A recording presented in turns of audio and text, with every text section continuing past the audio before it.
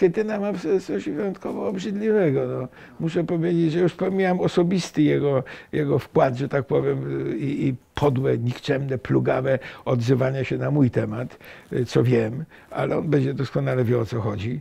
Ale tak mówił proszę, partii? Czy... Mówię nawet publicznie, można to poszukać, plugawie, ale no, zajmował się czystkami w partii i główna y, myśl polityczna Schetyny, Schetyny to była taka, niczym się nie różnił od PiSu. No, zwalczając z PiSem, nie mogę, jak może być w ogóle w, demokratycznej partii Schetyna?